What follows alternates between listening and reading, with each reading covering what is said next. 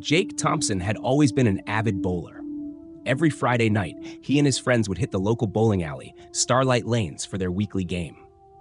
This particular Friday, however, was different. It was the anniversary of the old owner's mysterious disappearance, a fact that Jake's friend Tom brought up with a mischievous grin. Do you remember the story of Mr. Henderson? Tom asked, raising an eyebrow. Yeah, didn't he just vanish one night? Jake replied, lacing up his bowling shoes. That's right, Tom said. Legend has it, he was dragged into the lanes by some dark force.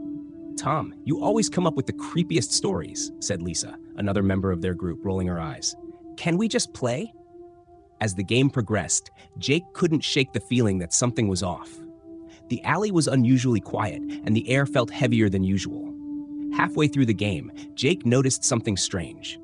Lane 13, which was always empty, had a single ball positioned at the end, just sitting there. Did anyone else see that? Jake asked, pointing to the ball. Lisa and Tom turned to look. Weird, Lisa said. Maybe someone left it there. But as the night went on, Lane 13 seemed to beckon Jake. Every time he glanced over, the ball seemed to be slightly closer, inching its way toward the foul line. It was unnerving. Guys, I think we should check it out, Jake suggested, trying to keep his voice steady. You're nuts, Tom said, shaking his head. But I'll go with you. They approached lane 13 cautiously. The ball, now almost at the foul line, appeared ordinary. But as Jake reached out to pick it up, a cold gust of wind blew through the alley, sending shivers down his spine. The lights flickered, and for a moment, everything went dark. When the lights came back on, Jake and Tom were alone. The rest of their friends had vanished. Lisa! Greg! Where are you guys? Tom shouted, his voice echoing through the empty alley. A low rumble came from the direction of the lanes. Jake turned to see the pins at the end of lane 13 rearranging themselves into a strange pattern. The ball in his hand grew colder, almost burning with frost. Let's get out of here, Jake said, his voice trembling. But the doors to the alley were locked. Panic set in as they banged on the doors, yelling for help. The rumbling grew louder, and the floor began to vibrate. Tom, I don't think we're alone, Jake whispered. They turned to see a shadowy figure emerging from lane 13, a distorted silhouette of a man. His eyes glowed with an unnatural light, and his movements were jerky, like a marionette on strings. Mr. Henderson? Tom stammered, recognizing the figure from old photographs. The figure nodded slowly, raising a hand. Jake felt an invisible force grip him, pulling him toward the lanes. He struggled, but it was futile. Tom tried to grab him, but the force was too strong. Jake! Tom screamed, but his voice seemed distant, muffled. Jake was dragged to the end of lane 13, where the pins had formed a circle. The ball in his hand shattered, releasing a thick black smoke that enveloped him. He felt himself being pulled down, down into the darkness beneath the lane. When he opened his eyes, he was in a vast empty space, the ground beneath him smooth and cold. The shadowy figure stood before him, now clearer. It was indeed Mr. Henderson, but his face was twisted in agony. Why are you doing this? Jake asked, his voice echoing in the void. I was trapped here, Mr. Henderson replied, his voice a haunting whisper. A curse binds me to this place. I need someone to take my place. Take your place? No, I won't, Jake shouted, backing away. But the darkness around him seemed alive, reaching out with tendrils of shadow. Jake felt them wrap around his legs, pulling him back toward Mr. Henderson. You have no choice, Mr. Henderson said, his eyes filled with sorrow. It's the only way I can be free. Jake's mind raced. There had to be a way out. He remembered the stories, the legends. There was always a way to break a curse. Tell me how to break the curse, Jake demanded. Mr. Henderson hesitated. The curse can only be broken by a willing sacrifice. Jake's heart sank.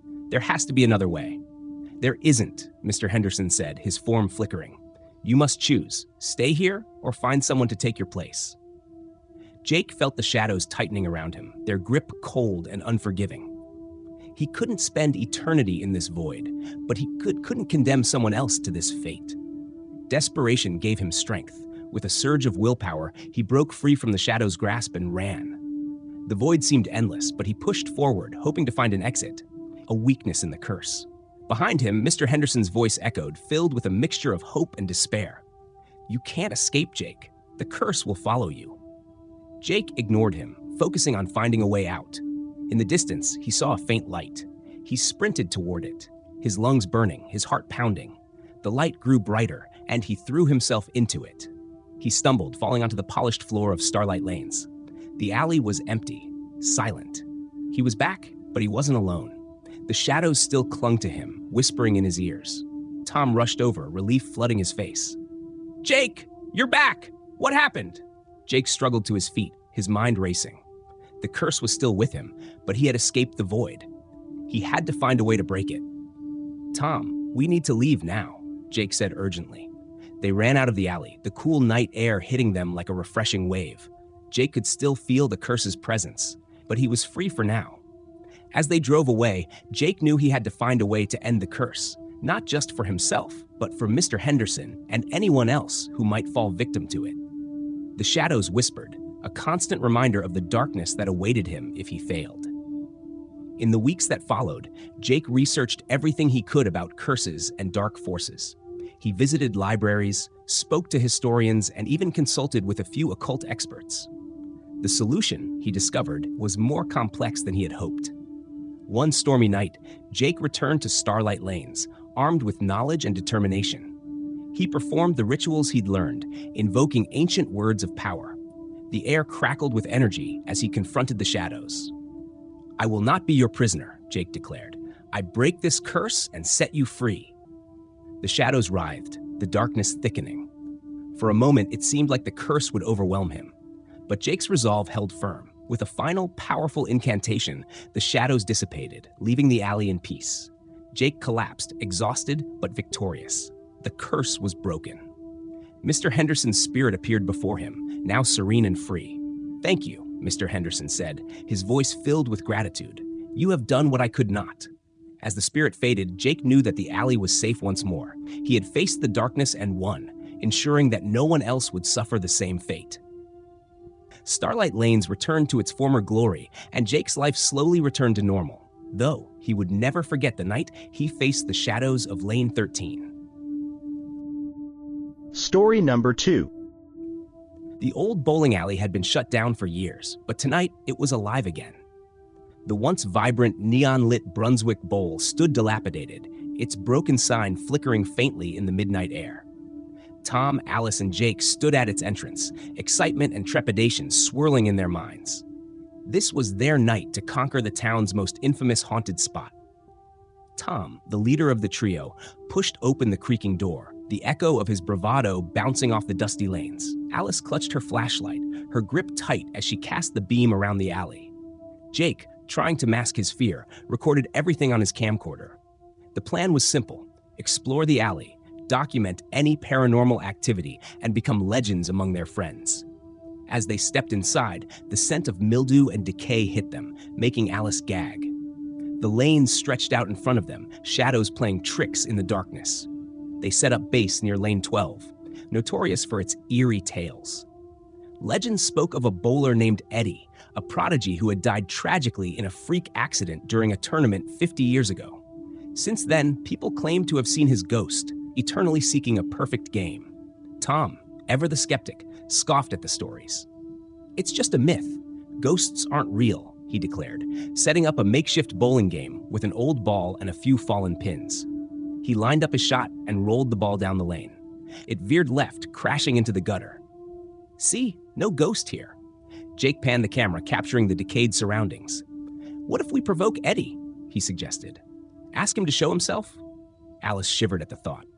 Do we really need to do that? What if the stories are true? Tom grinned mischievously. Let's find out. He turned to the empty lane, his voice mocking. Hey, Eddie, if you're here, why don't you show us how it's done? The air grew still, hot, a palpable tension settling around them. Alice's flashlight flickered, the beam narrowing until it illuminated lane 12. They heard a soft rumble, and then the ball Tom had thrown earlier slowly rolled back towards them, stopping at their feet. The three stared in disbelief. No way, Jake whispered, his camcorder capturing every moment. Tom, determined to maintain his skepticism, grabbed the ball and threw it again.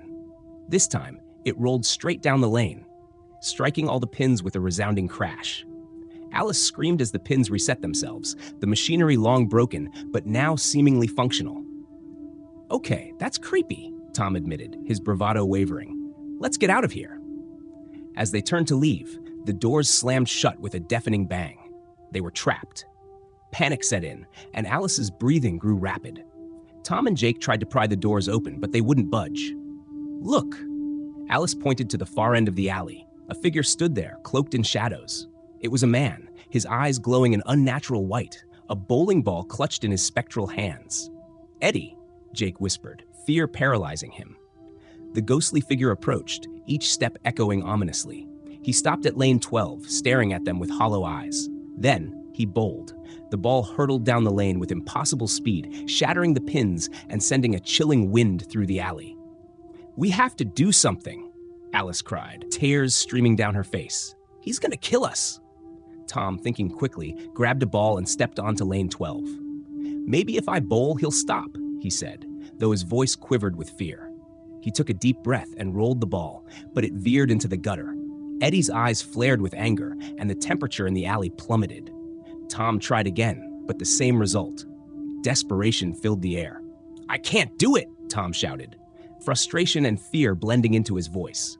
Alice, her eyes wide with terror, noticed something strange about the lane. The markings on the floor seemed to glow faintly, forming a pattern. Jake, shine your light here, she directed. The markings formed an intricate design, a pentagram hidden beneath the dust. It's a seal, Jake realized. This place is cursed. Eddie's trapped here because of it. Alice remembered a story she had heard about breaking curses. We need to break the seal, she said, urgency in her voice. But how? Tom, still holding the ball, had an idea. Maybe if I get a strike, it'll disrupt the curse. He lined up his shot, focusing intently. This time, he felt a strange energy guiding him. He released the ball, and it rolled perfectly, crashing into the pins with a thunderous strike. The seal glowed brightly, then shattered, the pieces dissipating into the air. Eddie's ghost paused, his expression shifting from rage to relief. He looked at the trio, his form fading. Thank you, he whispered, his voice echoing through the alley. I can finally rest. With that, Eddie vanished, and the oppressive atmosphere lifted. The doors creaked open, and the trio stumbled out into the cool night air, their hearts pounding with a mixture of fear and triumph. As they caught their breath, Jake reviewed the footage on his camcorder. We got everything, he said, awe in his voice. No one's going to believe this. Tom, still shaken, managed a weak smile. We survived. That's what matters. Alice looked back at the alley, a sense of closure washing over her. Eddie's free now. We did the right thing. They walked away, leaving the haunted alley behind. But as they disappeared into the night, a faint glow emanated from lane 12, a reminder of the restless spirit who once haunted its lanes. And though they would never return, the legend of Brunswick Bowl would live on, forever etched in the town's eerie folklore. And somewhere in the shadows, another pair of eyes watched them leave, a new spirit awakened by their actions, waiting for its own story to be told.